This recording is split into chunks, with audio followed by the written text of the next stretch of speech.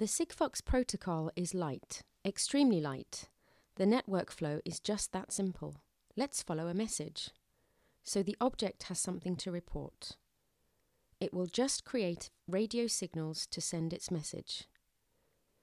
This signal will get to the base stations listening to the Sigfox frequency, and the message will be retrieved, checked, and then passed to the Sigfox cloud. The cloud will authenticate the sender, check the action associated with this ID, then report the message to the customer. Sending uplink messages through the Sigfox network is that simple. You might think that's the same process with all radio systems.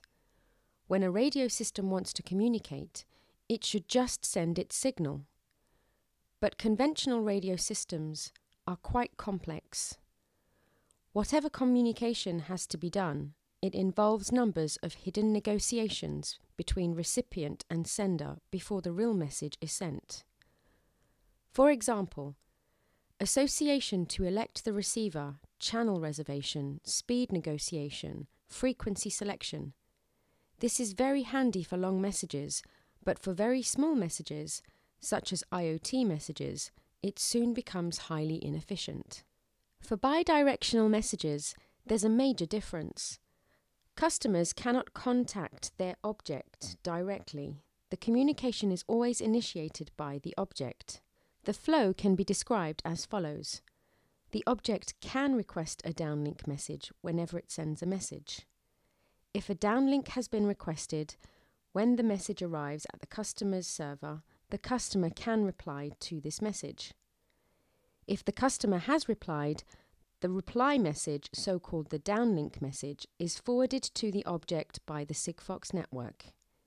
At this time, the object will be listening and waiting for incoming messages.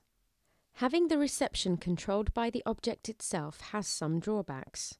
The main one being the inability to communicate directly with the object whenever the customer wants to.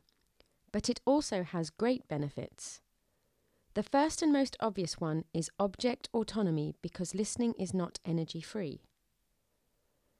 The second benefit is a certain security robustness. When objects have their ears closed, they can't listen to anything that might be sent by a hacker.